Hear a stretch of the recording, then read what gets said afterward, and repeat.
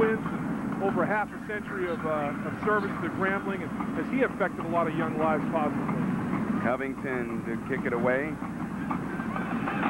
And it comes to the near side of the field, bounces at about the 32, where it'll be caught and downed at the 28-yard line, where the South will take over. Let's take a look at the first. The other way.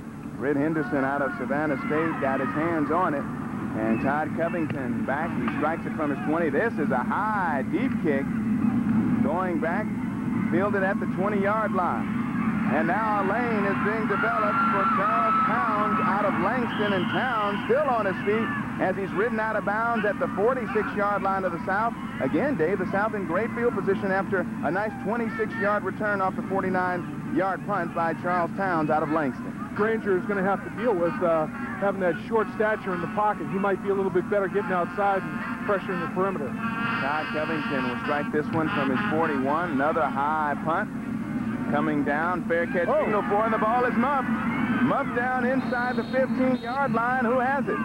Just haven't had much of a game plan to work on, and special teams were going to be an adventure.